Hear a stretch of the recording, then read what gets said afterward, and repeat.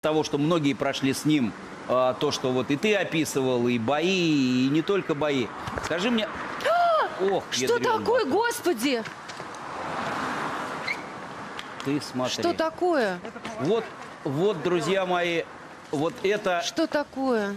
Семен, вот это на самом деле, я не знаю, что там сейчас произошло, а я думаю, сейчас с этим разберутся А, те, кто должен. нормально. Скажи мне, пожалуйста, какая обстановка, какие настроения а, сейчас а, в Донецке и в ДНР вообще, Артем, пожалуйста. обстановка достаточно нервная, но такие люди, как э, э, этот парень, которые не могут себя удержать в руках, они не с нами.